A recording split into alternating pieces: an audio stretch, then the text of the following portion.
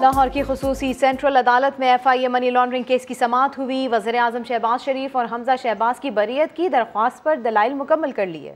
समात के दौरान एफ़ आई ए वकील ने हाथ खड़े कर दिए। इसी हवाले से बात करेंगे। हमारे नुमाइंदे मौजूद हैं। हमारे साथ अरशद अली जी, अरशद आगाह कीजिए। बिल्कुल जो है, वो लाहौर की खसूसी अदालत में स्पेशल जो F I A money laundering के मुकदमे की समात हुई है। इस मौका पर अदालत ने हमजा शहबाज की एक रोज़ा हाजिरी माफ़ी की दरख्वास्त जो है, वो मंजूर कर ली है और शहबाज शरीफ ने खुद जो है, वो अदालत पेश होकर अपनी हाजिरी मुकम्मल करवाई।